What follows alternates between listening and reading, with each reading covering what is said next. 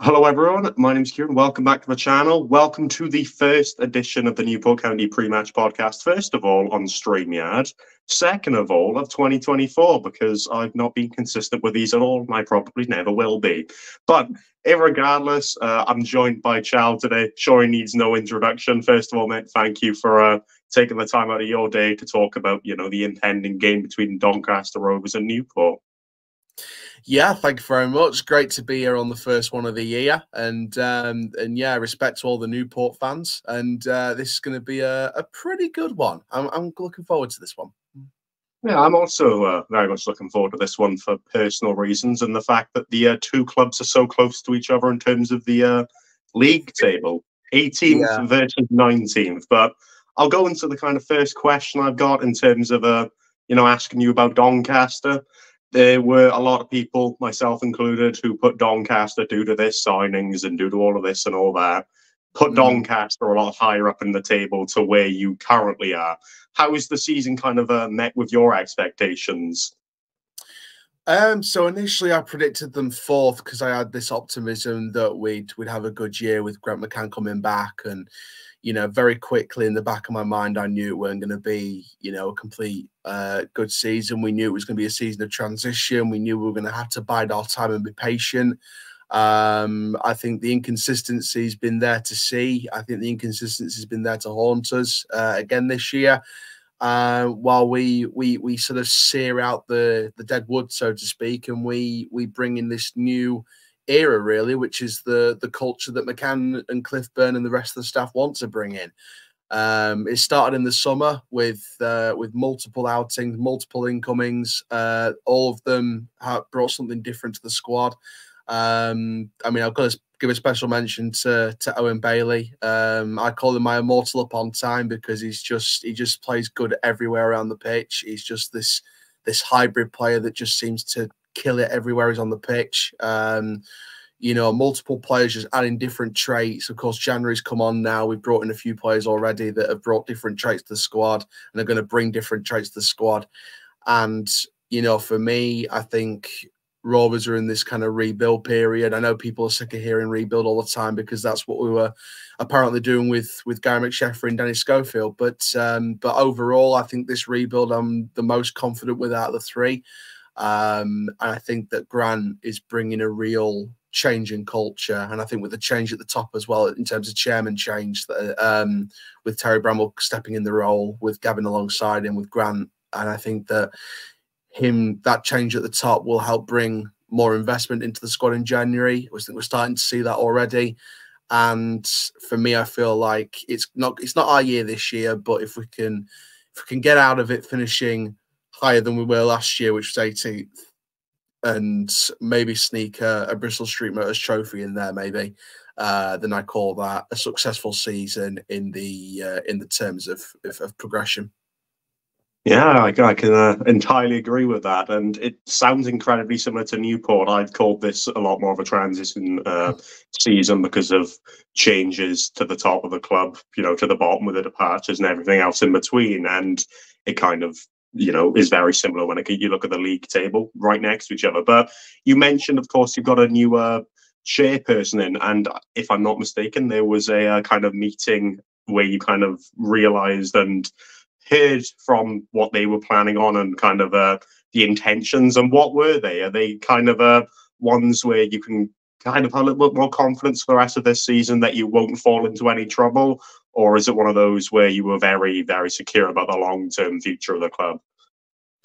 Um, so obviously we had our owners event uh, this past week, and you know we have these virtually every season, and it, for, for me personally, it felt a lot more optimistic. I know a lot of our fans were were not so optimistic on social media after the event, and were kind of throwing it down to the fact that we're not didn't didn't really sound like we were gonna put loads of investment in, but there's there's fans out there like myself, like Ainsley, like a few other people that are that are confident about what Terry's going to bring as chairman. Uh, I think initially, I think even the even the new chairman admitted himself that David Blunt doesn't want to put any money in and didn't want to put any money in. And when you got a chairman for the last ten years who didn't put any money into the club, I'm sorry, that's just inexcusable in itself. And the fact that David Blunt was willing to become a silent shareholder and just be a part of the board rather than the chairman of the uh, of the club, fair enough, right decision. Uh, I don't wish any ill feeling towards David Blunt at all. I've been very professional about my response to the change in chairman, uh, even though the inside fan in me is screaming, "Yes, yes, yes, he's, he's not chairman anymore." the professional in me states that I wish him the best of luck with whatever he's doing next, and uh, and, and, his involvement in the boardroom um, rather than being the chairperson. But you know, I'm confident about Terry Bramall. He's he's been at the club since 2006. He's been part of the good times with John Ryan, um, building that squad up to to the championship in the golden era of the modern golden era. Uh, when we were leaving Belle Vue and heading into the Keepmoat Stadium the first time in 2007, and you know, for me personally, I think that Terry's a, a, very driven man. He's a Doncaster man. He's very, very rich. He's a Yorkshire man, uh, not Doncaster man, Don Yorkshire man. Uh, very, very rich, and um, you know he has got Doncaster at heart. He has got the whole club Doncaster at heart, and he knows what he wants to do, uh, which is to make us uh, improve on the pitch with the budget that's required to grant for the January window, the summer, etc uh, make us more financially sustainable off the pitch, and then and only then we'll be in a position to, um, you know, offer the club for a takeover to someone who thinks they've got the right interests at heart. So I think Terry's the right person at the moment to steer us uh, afloat in the direction where we can then sort of bounce off the, the loading platform and sort of take off with a with the next era of, of owners uh, in the future. But for now, in terms of steering us up and steering us back on track, I think Terry's the the right chairman to to do that. I think me and John Ryan spoke numerous times about Terry and you know, John Ryan 100% trusts Terry, and I 100% trust him, especially here in the uh, owners event uh, last night. I did ask a couple of questions myself about certain things off the pitch, and um, you know, we got some got some good responses. Um, there was there's a couple of odd questions in there, but um, but yeah, uh, overall decent and uh, a lot more confident about the uh, the security of the club and still having a, a football club to go to. Yeah, sounds fantastic when you look at a Doncaster uh, neutral perspective because you've got all of the uh, the lower league look, look sports media spaces where there's Doncaster segments and more towards the beginning of the season it sounded a lot more uh, more, a lot more on the negative side than the positive side and you never really like to hear that just as a football fan myself. So it's good to hear that Doncaster look to be on that uh, up kind of uphill rise in terms of off the field and potentially on the field. But we'll go more to the you know the now this season, and I want to kind of uh, cover this now because uh, I think it's a a vital thing that a lot of Doncaster fans like yourself, like uh, Ainsley and everyone else have mentioned, is that your squad have been through what I can only describe from what I've heard as an injury crisis of a of sort, and we've been through one that you know, was pretty significant on the kind of prog- progress we made on the pitch. But we've come through the end of that. In terms of your squad now, of course, it's January, so you can uh, kind of pick and choose who you want to sign to a degree. How is the uh, squad availability going into this game? Are there still uh, loads of injuries, or is there players coming back and being uh, filtered in that are vital to how you play? Um, there's been improvement. Uh, there's been improvement in the availability as the weeks have gone by. We've had a couple of setbacks in previous weeks, you know, months ago, but um, the the availability is improving at the minute. Um, Louis Marsh, who's been injured for the last few weeks now, last month or so, uh, he's gone back to Sheffield United. His loan spells ended. So, uh, and that's quite sad with Louis Marsh because he had a, he had a lot of potential, a lot of pace in him. We saw that when he came into the club in the summer, and you know it felt like we are going to see a real player in there. And then that injury at Mansfield just completely rock bottomed his season. Um, and my only hope now is he goes back to Sheffield and rehabilitates that and just keeps working on it and he can get himself back into a place where he's back competing with the under 21s at Sheffield and back competing for a for a place in that first team with the likes of Ollie Arblaster. Uh, of course, went back from Port Vale uh, earlier this week, uh, earlier this month as well. Um, in terms of other availability, we know that Bobby Faulkner is now back from injury. We know that obviously we've added to the squad with Conor Carty, with Jay McGrath on a two and a half year deal with Matthew Craig now, with a couple more still to follow that we're working on. Uh, at least two or three we're working on, uh, as far as I'm aware. I think that, excuse me, I think that with John Teller coming back in January, I think that's another plus. Uh, he's been someone who's been hit and miss with injuries um, throughout his time at Rovers in the last couple of seasons. We have got four out for the whole season now, uh, with with Lavery out for the whole season, but he's barely he's played no minutes this season. He's out of contract in the summer, so he's going to go anyway. George Miller, who was our top scorer in a poor season last season, uh, injured for the rest of the season now after a couple of setbacks, which is obviously a shame. Zain Westbrooke, who has been a vital part of the midfield in terms of making advanced movements, being in part of the link up play.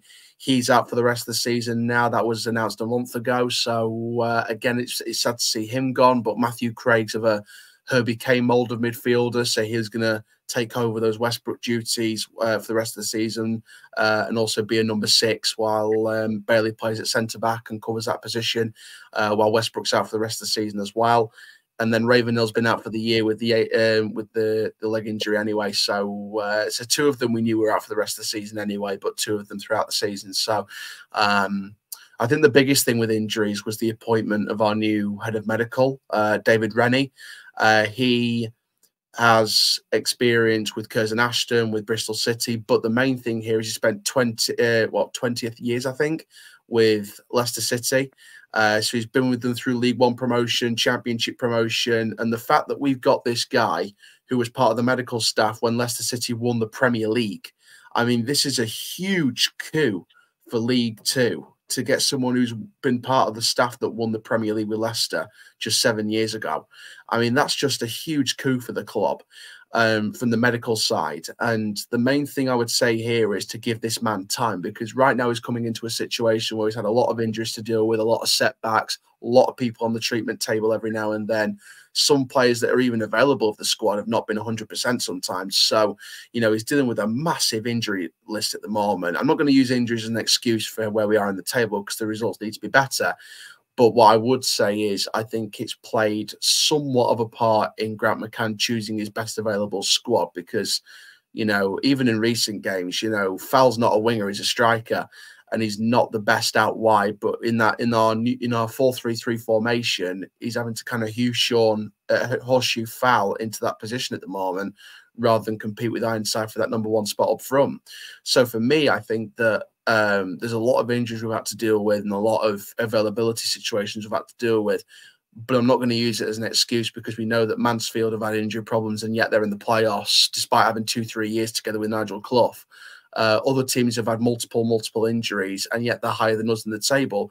It's about how we deal with our availability. And I know Sir Alex Ferguson once said it's not just about the 1 to 11, it's about the, the 12 to 20 or whatever it was but um, it's how we deal with our availability the best. And uh, in terms of the medical side, I, I I'm more than willing to give our new head of medical as much time as he needs to bring down that injury list. And we're starting to see it with the the lack of unavailability at the moment and the fact that it keeps going down and down and down over these last few weeks is a positive sign um, that changes are being made. Grant McCann in the owners' event that they are in being investigated, and there is investigations going on into what what led to all those injuries that happened um, over previous seasons. Obviously, he can't do what happened with previous seasons, but he's launching an investigation into the current current situation. So we are taking steps to improve on that. And um, you know, for me, I, I I can't rate the appointment enough of David Rennie as head of medical. Um, so I think the injury situation will, situation will get better.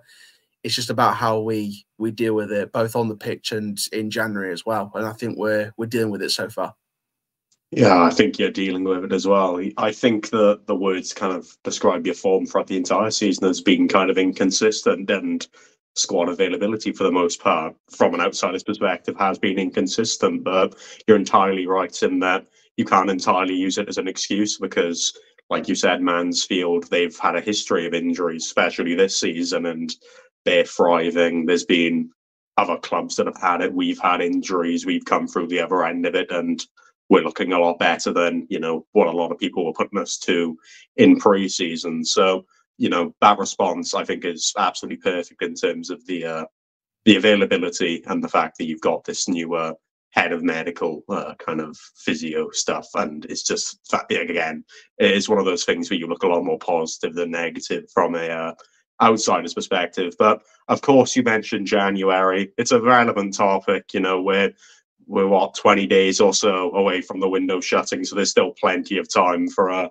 business to be made in terms of potentially your current squad, in terms of uh, what you want to go into. What additions do you need to make this season a successful one in your eyes? Um, I mean, after the first three that we made, I mean, obviously Conor Carty on loan from Bolton is a pressing forward. He can adapt across the front line, but he's mainly a pressing forward, like a George Miller mould.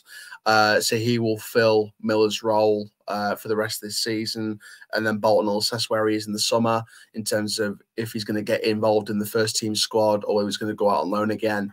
Uh, with him signing a new long-term contract. Jay McGrath, two and a half year deal, strong, physical, powerful ball playing centre back. He will uh, add to the current lineup of defenders. Grant McCann has suggested that a couple of centre backs will go uh, in January potentially, uh, definitely the summer, but maybe January as well.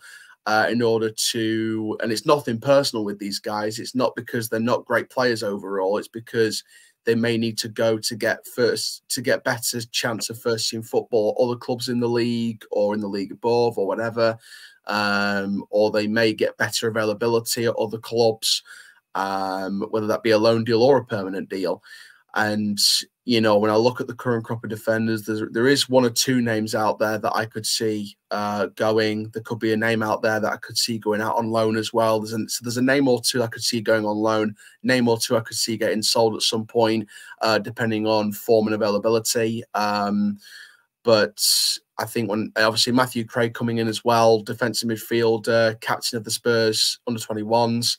Um, I mentioned this when we signed him actually. He worked with one of the coaches who's Wayne Burnett, who's got experience of League Two, having been caretaker manager at Dagenham and Redbridge during the three-way relegation battle. And I did mention this to people on my analysis video about the relegation battle in that season between Barnet, And Redbridge, and AFC Wimbledon to go down to the to the conference. It was one into two, it was uh, three into one relegation place, and ended up being Edgar Davids' Barnet. And Wayne Burnett was the caretaker manager of Dagenham and Redbridge. I think they lost or drew their last game of the season, along with Barnet losing to Northampton AFC Wimbledon, I think, won their game. So he's got experience working with a coach who's been a caretaker manager at this level.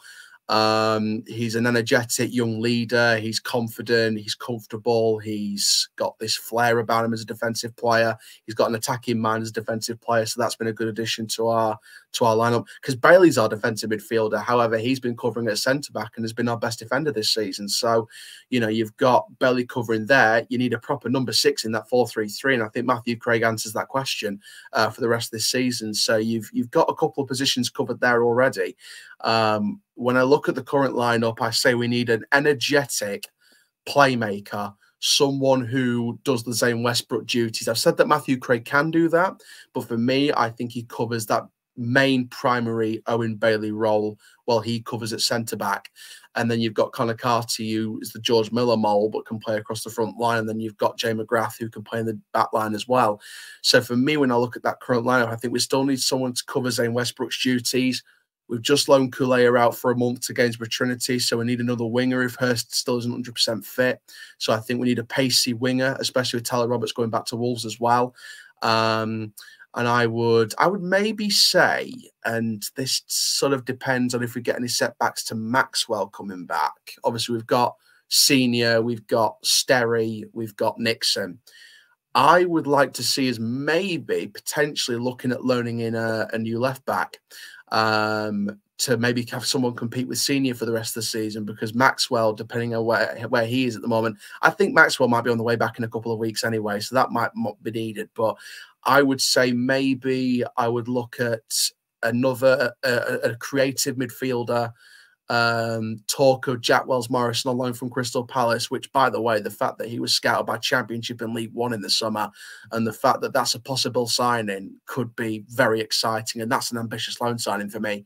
Um, and then maybe maybe a, obviously a winger. I think winger will be on the agenda. I think, in my opinion, I think it'd be a travesty if it wasn't.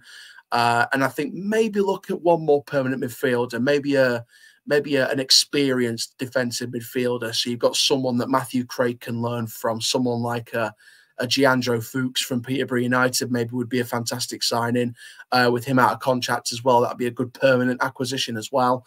So I'd say a creative midfielder, a pacey, direct winger, like a Malik Wilks mold. Not exactly that player, but I think that mold of winger because that's what Grant McCann was working with last time and then maybe an experienced midfielder, a holding midfielder, or a defensive midfielder. So there's still two or three names I could see uh, come into the club, and still two or three molds of players coming into the club. Um, but it's been a decent start. And for Rovers fans that were complaining about the lack of experience in the first three signings, Grant McCann highlights at the owners' event that he was looking for young lads with legs and a lot of pace because of the experience we already have in the squad. We will invest in experience in the summer to replace the experience that goes in the summer, but and, January, of course.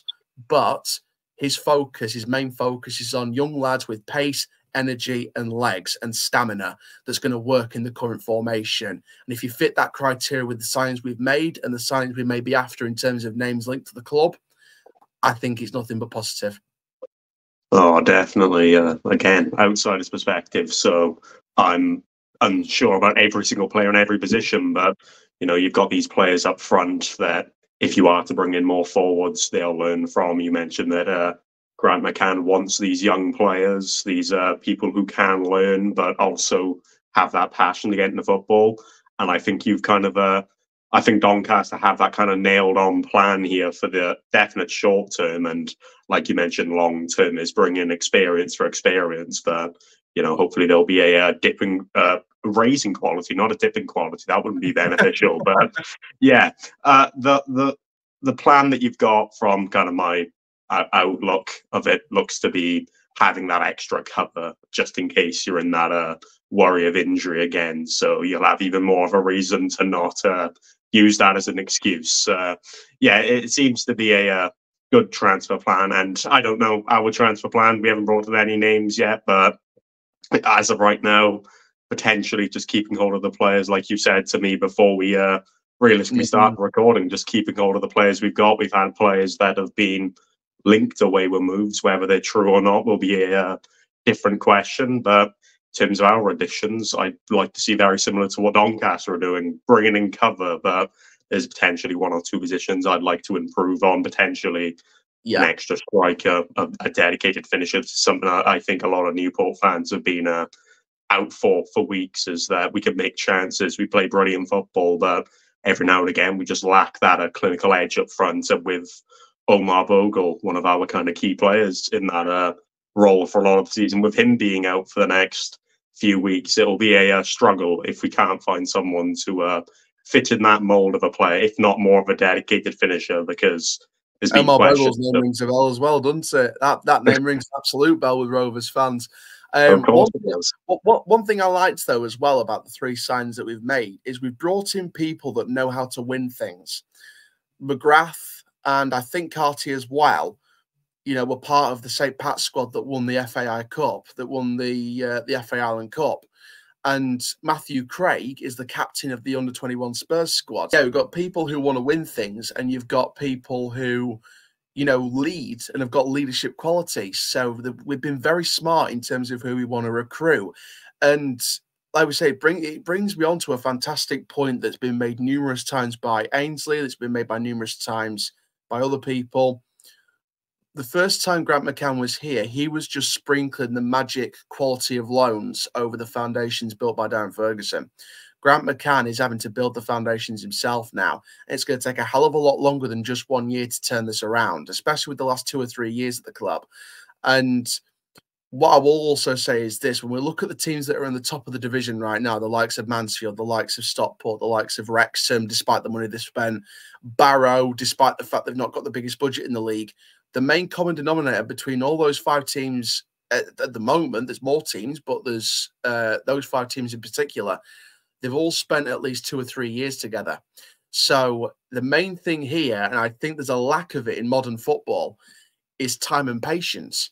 Um, I'm not saying drop your standards, but what I am saying is expecting consistency while we sort out the current situation. And I'm not saying we shouldn't demand positive results, but what I am saying is um, we have to take time for the inconsistency to weed out. This year might not be our year. I'm man enough to admit that. But next year or the year after might end up being our year because we give this man time to build the squad he wants to build and we trust the process. And I know it's an overused statement in football at the moment, but trust the process. You know, we're, we're, we're not we're not Arsenal. We're not at this massive multiple winning club that's dropped our standards for four years because they haven't won a trophy because they're like a certain manager. We're Doncaster Rovers. We've not won a trophy in 10 years. We haven't got to the chat. We haven't been in the championship for over a decade. History tells us, and history more than more than ever tells us that we are historically a League One, League Two football club. We're in the division or around about in the division that historically tells us where we need to be. But to get back into League One, which is the division where I think we should be, and I think that I'd like to see us go into long term, is we've got to give it time and patience. And I think we will get there at some point. It's just going to take a couple of years because – you know, and there's been when we've been on our, our bad patch of form, there have been fans, and there have been fans in our fan base that have said, get rid of this manager. And I question why anyone ever thought that. Because first of all, Grant McCann's done wonders with us before. Secondly, he's only been in the job six months. I don't know why people during our bad patch of form, some Rovers fans, not everyone, but the couple odd one or two or a few, um, in the de deep dark depths of the fan base were saying get rid of him because of the results. And you know oh all these teams have got rid of our manager. You know if we get rid of him it's going to improve the results. But what's the plan after that? The plan is to back mccann for the next two three seasons at the very least and going forward as well. So that's why I don't think Rovers are in a crisis. I don't think we're in a crisis. If we finish below 18th, okay, okay. But in terms of performance levels, we've made progress from last season. So I'm not worried because we've not gone down. We're not going up. As long as we stay in this division, maybe nick a Bristol Street Motors trophy out of it, then we'll get there. It's just going to take time and patience. And I think in modern football, we we lack time and patience. And I think that's what's what's needed. I think clarity and context is what what's needed in situations like ours. I think that Salford need time with Carl Robinson. I think you guys um, are building a good squad at the moment. You guys need time with with Graham Coughlan, and you'll be you'll be back up into them League Two players before you know it. So it's going to take a lot more time. And the best thing about it is next season, we're going to have the advantage. Me, you, other teams are going to have the advantage over the teams that come down from League One this season, the likes of uh, Fleetwood, they're going to have to rebuild again. The likes of Cheltenham, who might go down, Reading, who are under financial destruction um, multiple teams who could go down this year, we're going to have the advantage over them because because we've had longer together, and they're going to have to rebuild to get out of this division, and they're going to have to start from square one again. So that's why I'm more confident about next season, and that's why I'm not worried about where we finish this season. And I think that, like I said, in modern football, time and patience is what's needed, and I think clarity and context is very much needed in situations like ours, in Newports, in Salford at the minute, Colchester under Danny Cowley and Nicky Cowley. I think that clarity and context is is is needed, but I don't think modern football has seen a lot of that. I I'm almost speechless in those uh, kind of in the things you've said there because that's the thing I've been trying to say towards uh, you know the Newport fan base towards just kind of football in general. There's no patience within uh, certain fans. They just want immediate success, and like you said, they don't take uh, clarity and context of where the club is off the field and on the field. And it tends to always lead to this uh, toxic relationship between the fan base, which at the end of the day isn't going to help the players. Uh, no. I'm very much one up for, you know, you can say that a team has a bad performance. You, you know, it's no secret if your team loses comfortably, you've kind of got to say we didn't play well. But I'm very much one to say you won't don't slander names because you know, their footballers are their own biggest critics, managers, uh, their own biggest critics, and I think they're in the hardest job of all in football because at the end of the day, they realistically get all of the uh, stick if things don't go well. They're called to leave instead of players for the most part, anyway. And yeah, there's just a lot of there's a lot of situations. I'm I'm literally doing my coaching badges at the moment, and you know I've got this I've got this terrible worry in the back of my mind going into football management because if I don't get it right with a certain team in the future, I'm going to get absolutely pounced for it uh, with my reputation sometimes. So I know exactly what's going to happen in management, and I'm terrified for it. And it's it's a very difficult job, especially in modern football when people want instant success, and there's more of a need in society for instant success. Otherwise, you're out of a job. Um, I think it really started coming along in terms of this whole instant mentality. I think it came along about a decade or so ago. I think this need for and this society change for instant success came about in the last decade or so, and it's become even more ruthless now. Um, and I think it reflects on today's society as well, especially in this country. I think, and, and, and in the UK in general, I think that the way football moves in terms of they want instant success, they want instant results. If they don't get it within six months, you're gone. End of story. I think there's a real movement in the last decade in society in general, which is reflected in football about the need for instant success, instant results, and a lack of clarity, context, and patience. And I think it reflects in the way football works as a business rather than a sport nowadays. I think that's very, very key to to make people aware of. Oh, definitely. And um, I think I don't know how hmm. similar this is to the uh, Doncaster situation, but a lot of things I've read from you know the odd one or two Newport fan who would potentially want Cotton out would say that we're an awful club and we're going down and this and that. which yes, I've heard, believe it or not. Um, and whether you've heard this as well, it, it could oh, be yeah. a, a uh, relatable kind of thing in that regard. Oh, and yes. I I understand why the frustration happens because in your context, you've been in the Championship, League One. In our context, we've been right next to going up to League One, and there's in in that regard, and if you look at the progress that potentially we've made from those playoffs to now, you look at it outside of things without any context and anything else, and you go, why isn't this club consistently reaching playoffs if they've done it, you know, twice in the past uh, kind of three years in that context? Why have they not uh, kind of kept that roll up and go uh, continuously kind of going up? But clarity yeah. and context in football, I think, is the most important thing. Within the seasons that we didn't go up, we lost a lot of players. We had all this cup money that we had from all these runs. That's gone. It's an entirely different kind of way of football now because there's. Yeah. It's very different because we're very much relying, and we have been relying on the fan ownership more than ever, and that could be changing. And you look into that into the uh, perspective of it's going to be a long term project rather than a you know, next six months, next year kind of thing.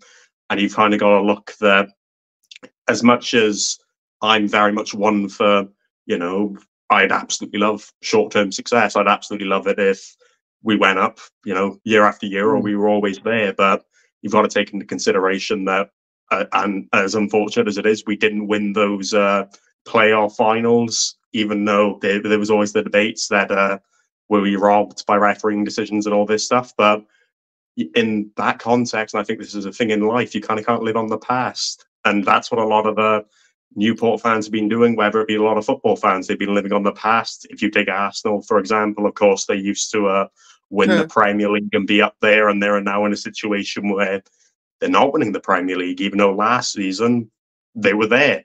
So the the kind of mindset that you should always be going for success no matter what the circumstances are, it's admirable, but you kind of got to be realistic with it as well.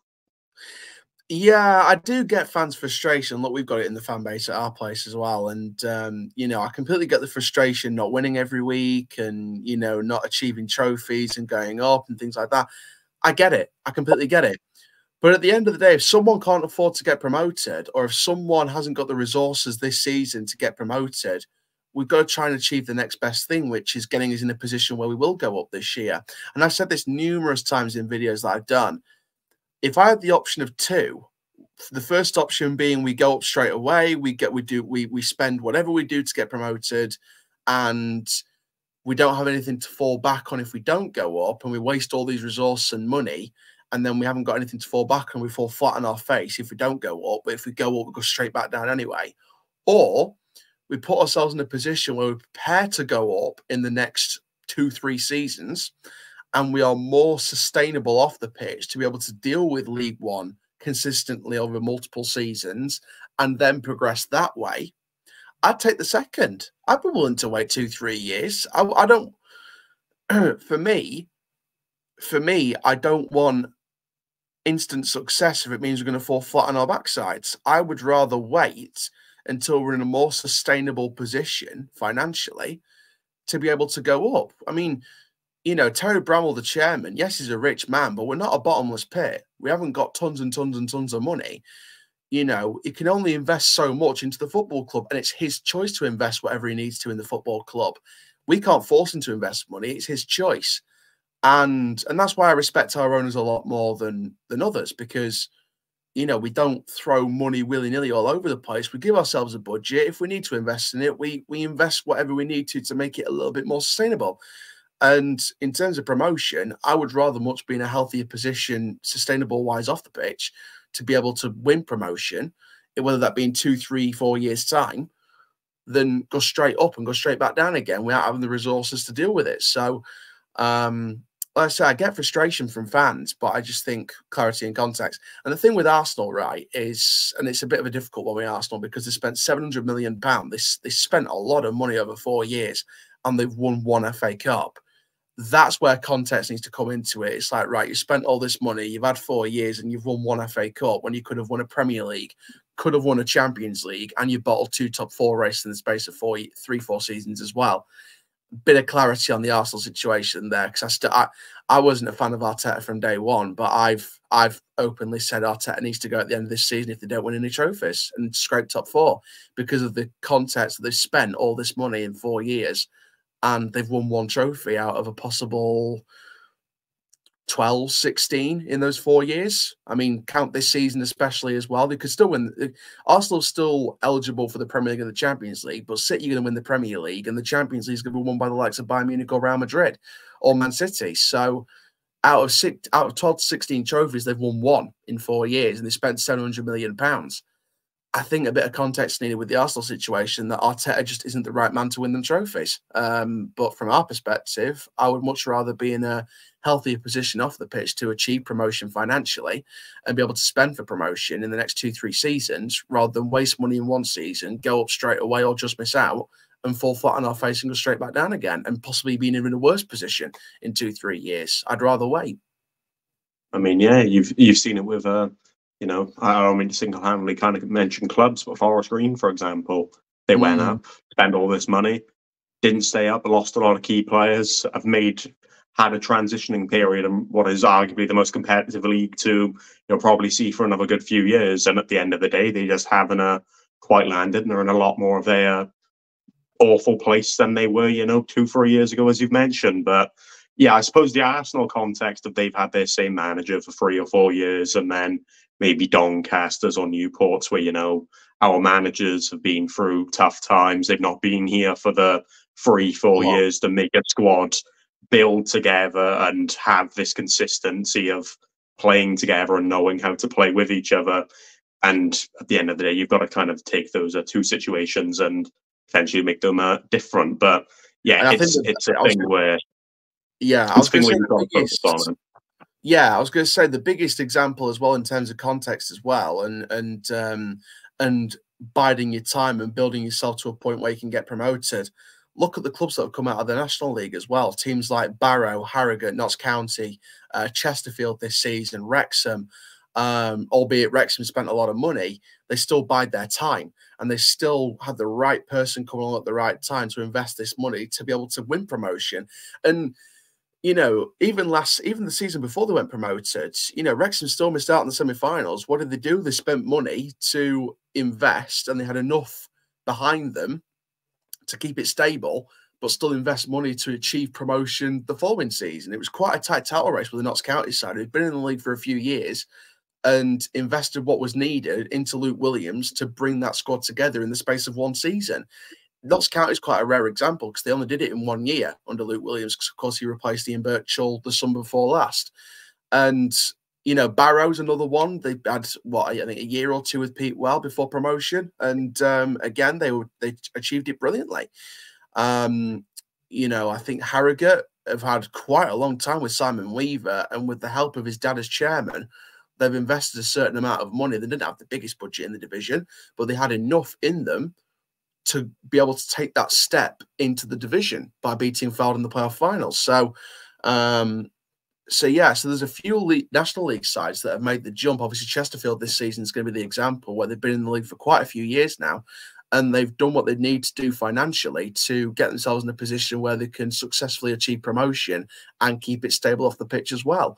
So I think the National League is the biggest breeding ground for for your next League Two clubs because they've either come down, had a wake up call, and done it right, or it's new clubs that have come up with a lot of investment and taken their first step into the football league because of the investment they've received and for them stepping up their game from where they were in the lower divisions in non-league football. So I think the National League's the biggest breeding ground for for, for new clubs, and I think they've they've done things the right way, hundred percent.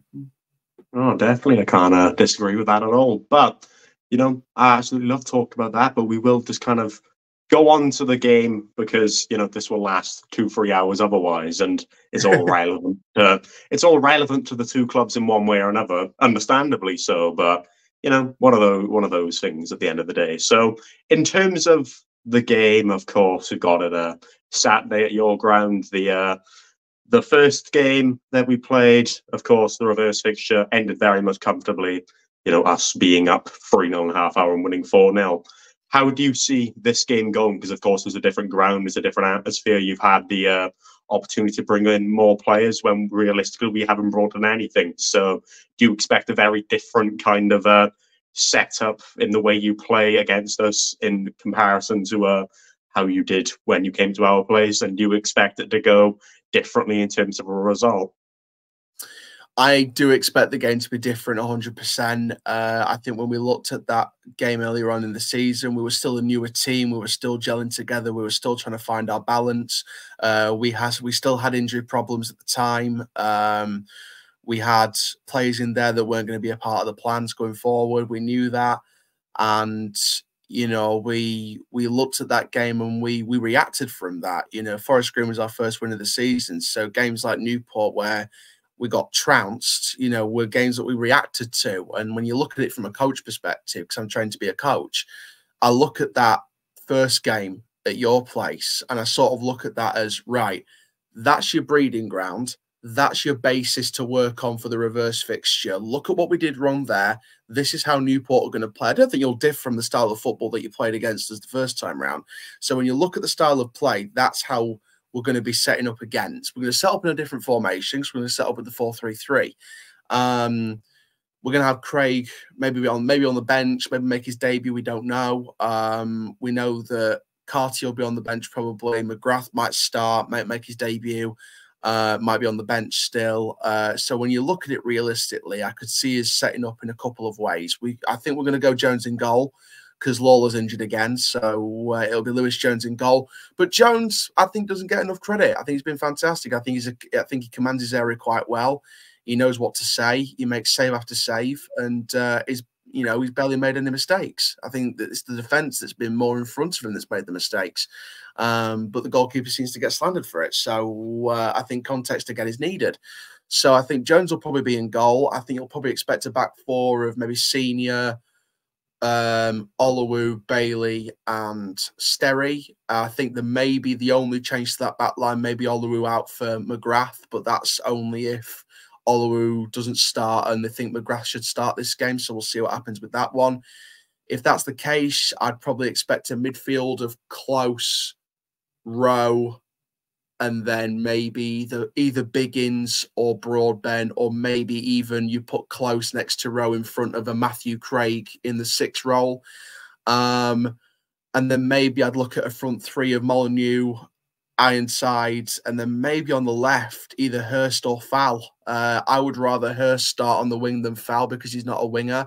I think he works better as a striker, but Ironside's not getting dropped at the minute because he's been turning up. So um, for me, I would start Hurst if he's fit, or we may look at bringing in a winger before before Saturday if that's the case. But I don't know. I think that's probably what we're going to line up with. Um, I think, like I said, we will use the four 0 as a as a as a basis and a foundation for where we we learn what we need to do in training. We um, we look at Coughlan's style of football, the long balls coming over the top, the cross in the box.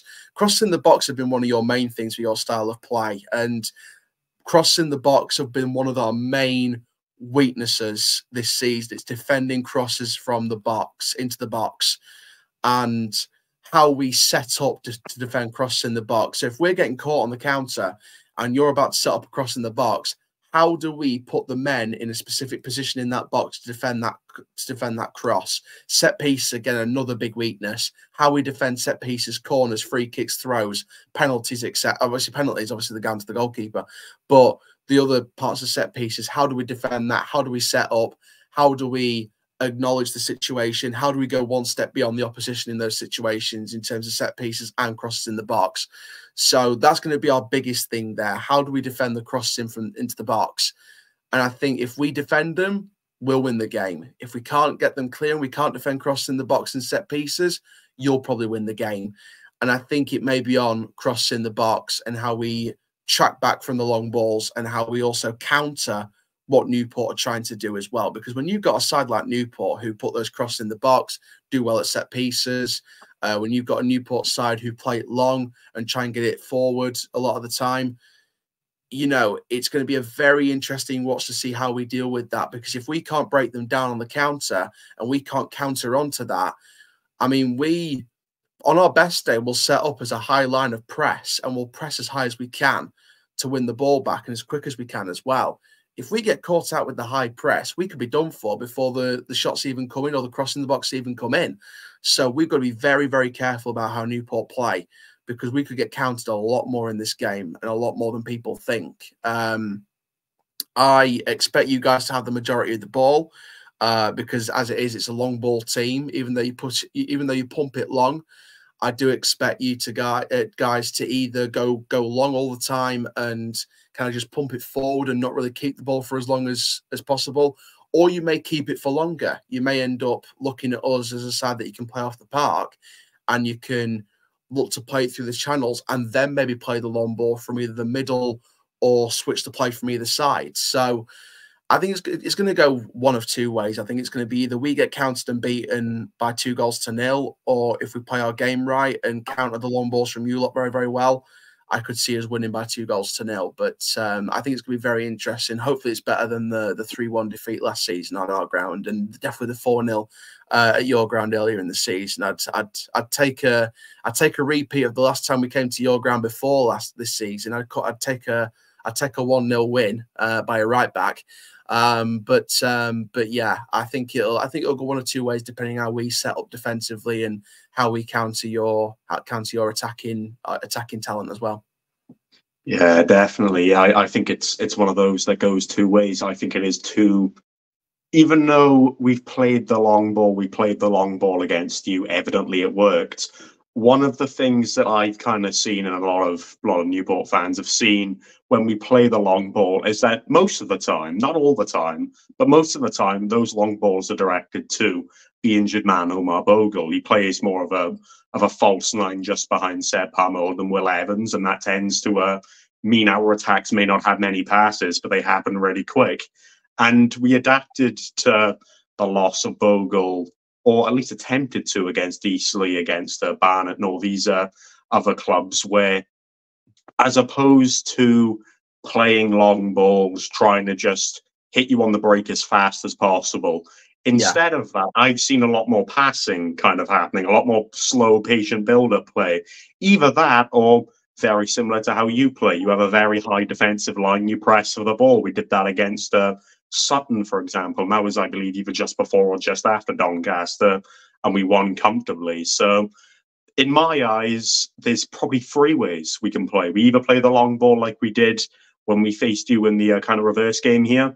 We either play how we did against Eastleigh, against uh, Barnet, and the league games we've had since Bogle have been has been gone, and that is a, a lot slower, a lot more passing movements, a lot more players being involved in attacks, and it works really well because our players, I think, are really you know consistent with passing. They're very knowledgeable of where to place themselves to make sure that we're going to be safe if we do misplace a pass and we're broken on the counter. We're very uh, decent in my eyes, a lot better than the beginning of the season anyway, in stopping attacks and being able to make sure that we kind of close players down and close the press down before we end up getting uh, broken on it. But at the end of the day, and it was one of the things that we said after the Eastleigh game, it's one of the things that I said after the Eastleigh game, and it's one of the things that I mentioned that we need in January, is a striker, a dedicated number nine who can just get on the end of the chances because we play really attractive football. We're very good to, you know, switch transition from a defense to attack. We're good at using the the pitch to utilize all the space, but the issue comes when we get into the box. You'll either have somebody who maybe maybe Will Evans or Palmer Houlden, for example, not quite place themselves perfectly for getting on the end of maybe just a drag back into the box, or potentially we just get one on one and potentially just miss that chance. So I think a lot of it, I, I'd like to say that we set up it as a kind of fallback because Graham Coughlan's mentioned he prefers that, whether that be Lewis Payne, Shane McLoughlin, Delaney, and then uh, Clarke at the back four. You have then Scot Bennett kind of kind of playing a six in that regard, kind of just uh, behind Morris and Charsley in the midfield, or potentially Morris also drops back. So you have those two uh, holding midfielders. But that then brings the issue of do we have enough quality to break you on transitions? It'll be interesting. I'd imagine Wildig will get into the uh, role, get into the team, potentially trying to play similarly to how Bogle does. But the question is, does he have the physical presence to be able to do that? It's not quite the same in terms of stature and everything. And then the front two's obvious, Will Evans and Seb Palmer Houlden. But I think we'll play differently to how we played you when we uh, obviously beat you towards the beginning of the season because of the injuries we've had, because the, the players have been able to kind of adapt to themselves and not have to rely on the long ball, so to speak, as much as they uh, had done previously. And it could be very interesting. It could be a it'll be an interesting watch. I think it is for the most part two very different styles of football. It all depends how we deal with your potential press, deal with the uh, ways that you want to break us yeah. down, whether you utilize the wings and all this stuff. We tried to do that against Eastleigh. We utilized them brilliantly for one half. And then the second half, we changed it up almost as a uh, experimental thing when they went down to a 10 men. Didn't quite work out, but it's a lot put down to the fact that we just couldn't finish chances. And at the end of the day, goals win games. I expect us to be a lot more offensively kind of uh, dominant than defensively if we are to score. And I think more than any game, in terms of the ones we played in the league this season, whoever scores first, that is going to be potentially the one that goes on to win the game because I think these teams, the Newport and Doncaster, don't respond overly positive to going 1 0 down. In terms of we've went 1 0 down, our heads have dropped at the back, we've kind of lost focus on what we've been doing, and we'll yeah. lose, you know, 2 3 0, all these kind of things. We'll potentially get a goal back in a kind of rare circumstance. We'll be able to reset, but for the most part, you know, the majority of the time, I can't say we respond overly positive to uh, going down uh, a goal. And then very I'd, similar I'd, with a yeah, yeah, very, I'd, very.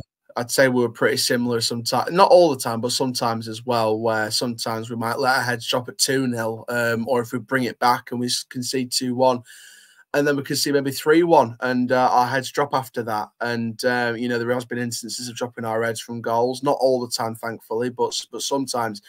And then you mentioned it there about your different styles of play. I think if you play, if you pass it a lot more comfortably around each other and just start playing it around and, you know, a bit slower, it could end up being an MK Don situation where we just press you and you know you might end up losing it a lot more often than usual and it could end up being a 2-3 nil depending on how we turn up attacking wise.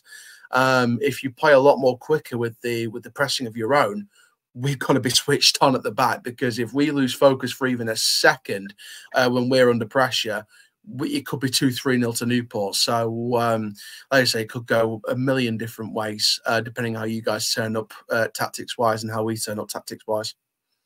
Yeah, I, definitely. I think the uh, the final thing I kind of want to say in terms of the game is that the uh, the change of atmosphere, the change of ground is going to be a a thing that I see very uh, influential to this game. We've got, for the most part, uh, an atrocious record away. We're a lot better at home than we are away, and it's understandable why. Uh, I know the context of the of the statement of twelfth man. Some people have said is very cliche and isn't real, but I personally think it is. I think if you're yeah. quite literally at your home ground, it could go very differently. But in the same way, it could go positive or negative. If you don't start off on the front foot well, you know, I don't know how your fans react to that kind of stuff, but.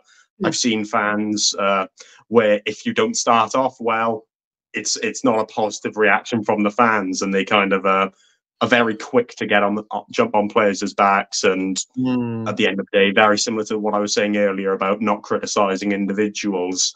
I'm sure criticizing players for you know not starting the game off well also doesn't help them in the same way that criticizing them afterwards isn't going to motivate them to uh, improve. But yeah i think realistically the first kind of 10 minutes could dictate this game if a goal is to go in if momentum goes one team's way it could very much be a uh, a situation of just whoever scores first, whoever has this control in the opening parts of the game could potentially control a lot of it. We had the Wrexham game, we controlled it for the first half, didn't score, and at the end of the day, it was switched. The atmosphere changed at that ground, and we got a we got punished for the chances we didn't take. So I think one, I'd you know we've been playing this passing game, but I'd like to see us compete with you in the pressing game because we did against Sutton earlier on in the season that worked. I'd like to see that. Whether it happens is going to be a different thing. We could potentially go for this whole passing around and uh, finding options again. And it all depends how our players react to being pressed and if they have the composure to uh, deal with it at the end of the day. So I'd like to say I, I'm confident personally. You know, what football fan would I be? What Newport fan would I be if I didn't back my team to win every single game? So I'm going to say, I'm going to say we score first but I am going to say that you score just out of out of the uh, home advantage in that respect, and I'm going to say two one. I don't think it'll be a uh, walkover game by any means. I think you've you've definitely shown in recent weeks that you have the ability to respond a lot better to negative things that happen on the pitch. You're a lot better tactically. I think what I also noticed in the uh, you know the reverse fixture is that you didn't use Joe Ironside. You were three yeah. 0 down by the time you brought him on, and I, you know, I've said it and I've praised that signing because he's very much what I'd like to see at Newport, dedicated finisher, kind of that role. So, yeah, it all depends how you line up if you utilize, you know, your strongest 11 in that respect. And I think personally, us losing Bogle was huge because it was very much a way that we were able to dismantle you. I don't think he got on the score sheet, but I think just his influence that he had really helped kind of bring these goals yeah. out in the game. And at the end of the day, I think he's a huge loss, but I still will say we win 2 1 because I'm a footballer uh, fan that really wants to uh, obviously see my team do well. But the realistic part of me says it could be just 2 0 either way. It just all depends how the game starts. Yeah. Um, in terms of a scoreline, what I'm going to go with, I mean, like I say, it could go multiple different ways, but I'm confident we're going to get a reaction, especially after the Harrogate game. Um, so I'm going to go, and we don't really keep clean sheets as much. So what I'm going to do is I'm going to go with the reverse of last season. I'm going to go with a 3 1 win uh, for us. So instead of a 3 1 defeat for us, it, like last year, it'll be a 3 1 win, I think. Um, I think Ironside won't play as deeper as he was at Harrogate. I think he'll be in the right position. Um, and I think that we're going to be in a much more reactive position. I think it'll be. I think the first half could be to and fro. I think the Newport could have their spells definitely, but I think we're going to come out much better in the second half. Um, and I think we're going to. I think we're gonna. I think it. I think I'd say maybe a half-time scoreline of one 0 Newport, and then maybe a three-one win by full time. So uh, I'm gonna go with gonna go with three-one. I'm gonna say we're gonna get a reaction from last week. Yeah, you know what? I, I can see why you say that, but obviously I'm not going to want to kind of uh, agree with it by any means. But I think the final thing I will mention, um, of course, was the FA Cup draw. Uh, I'm sure you would have seen it. Yeah, we've got a replay on Tuesday against Eastleigh, and should we win that, should we win that, we've got we've got a home tie against Manchester United, which you've won. You've won. you've won, which is the fifth round free pass. But uh, You've won. You've, you've, won. Trust me. Trust me. You've won. United are going to come there thinking they're going to walk all over you, and you're going to show them exactly what's what because that's what my United players sometimes will do. It's not on the manager at United. It's on those players because consistently they've not been to the level that they should be. And what's going to happen is going to turn up thinking they're going to walk all over this, and Newport's going to show them exactly how to play proper football and not do it up at the back and not miss a load of chances. You're going to take your chances and you're going to knock out Manchester United. I've got full faith in you for doing that. Listen here now, man. We got Eastleigh first, and I'm generally more worried about.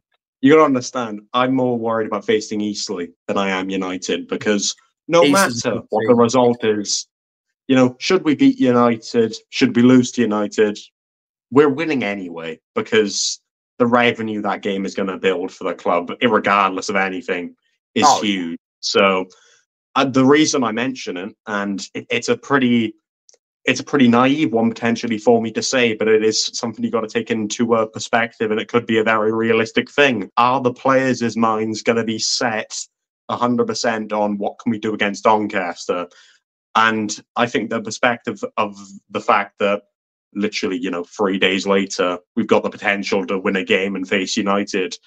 It could, because there's always the possibility. I'd imagine that Graham Coughlan, because he mentions that he likes to take games one step at a time and he doesn't focus too far forward. I'd hope that he's been able to keep the players' heads level and be able to uh, get them to focus on this game. But at the same time, you can't deny the kind of excitement that uh, that game brings to fans yeah. and undoubtedly players. But I, I'd hope that it doesn't have any form of influential factor. I hope we still go there.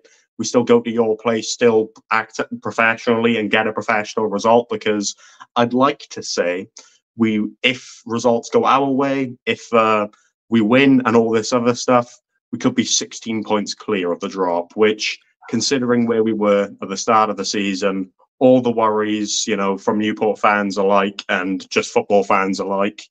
It's a phenomenal achievement. And it's one of the things where even if we go to your place and lose, uh, I'm always uh, optimistic in the regard that we've done a phenomenal job, regardless stuff, and that doesn't excuse if we perform awfully because you know mm. you it's just something that you never really want to see. But at the end of the day, we've done far above any expectations. But at the same time, I, I want to see how far we can take it. I don't expect any higher than mid-table.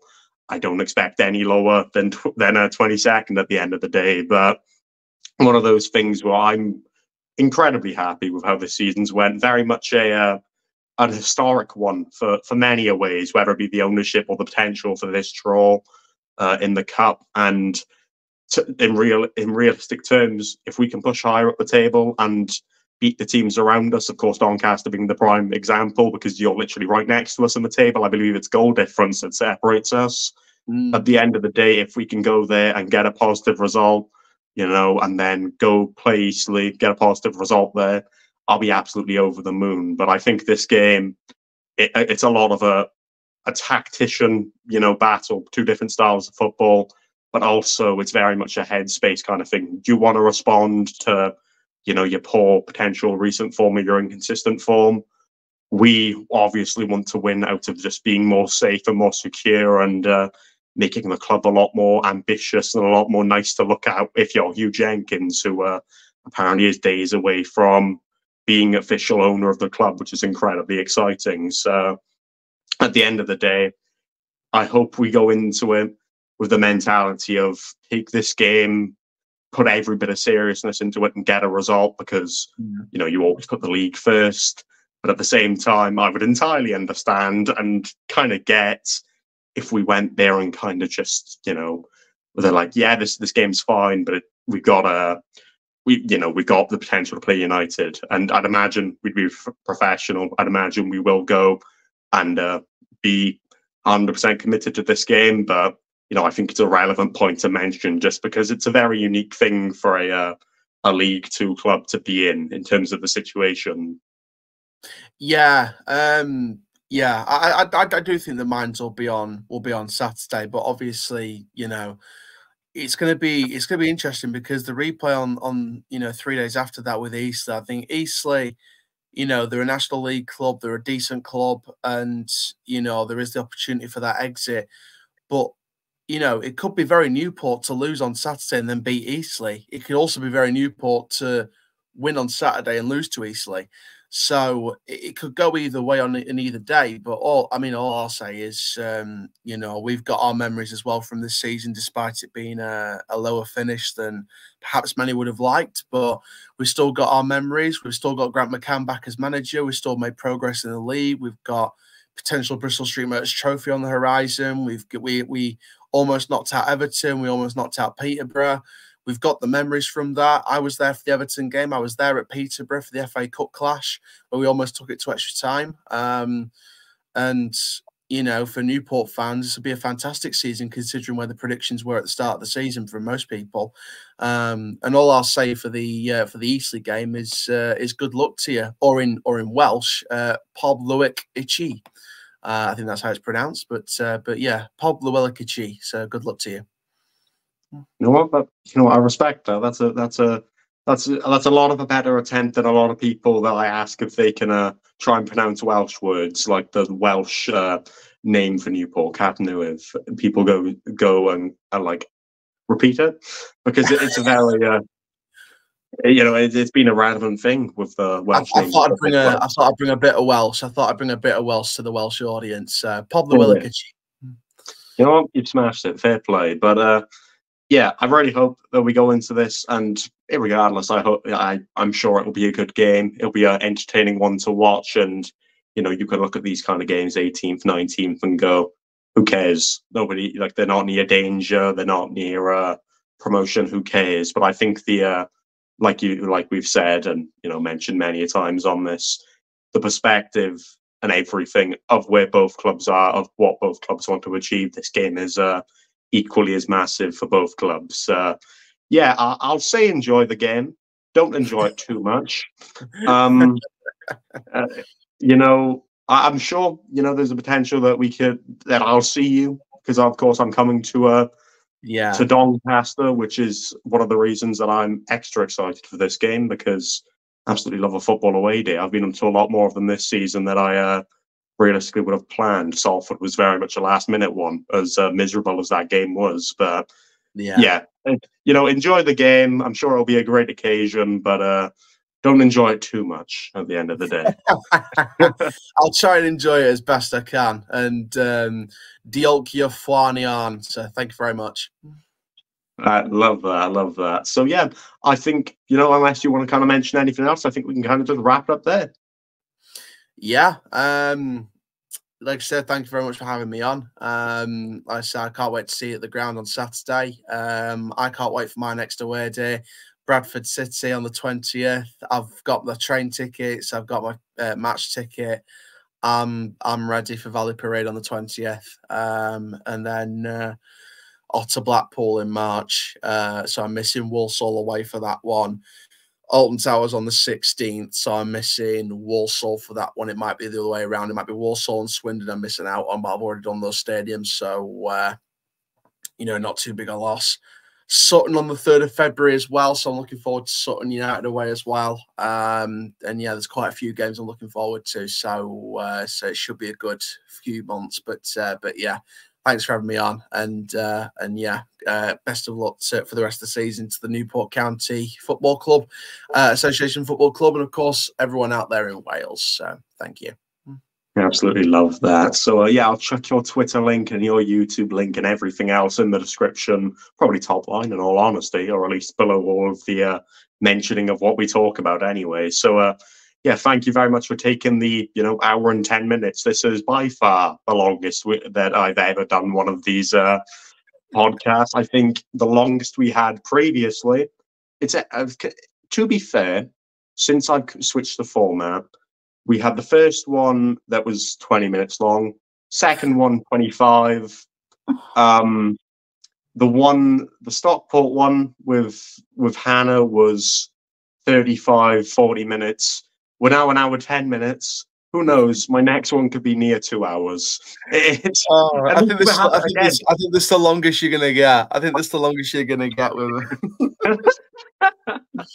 no, you know what? I, have really enjoyed it anyway, and it's one it. of the things that that I set out to do when I did this. I didn't want to just talk about the dedicated fixture, but you know, it's it's two football fans that love the game and just want to kind of talk about it. So that's equally what it is in that same regard. So, uh, yeah, should you have made it through the hour and ten minutes of a lovely football talk, a like and a subscribe would be very much appreciated. Comment your uh, thoughts on the fixture uh, down below. Thank you to Chall as always for the uh, appearance, and you know, potentially we, we might have a a little review of this game. I know I don't do many reviews, but depending on how this game goes and if I enjoy it as a positive result, I might do a review. But you know, irregardless, really enjoyed this. Like and subscribe and share, support the channel, whatever you see fits, using the link in the description. And yeah, take care. Ta for now.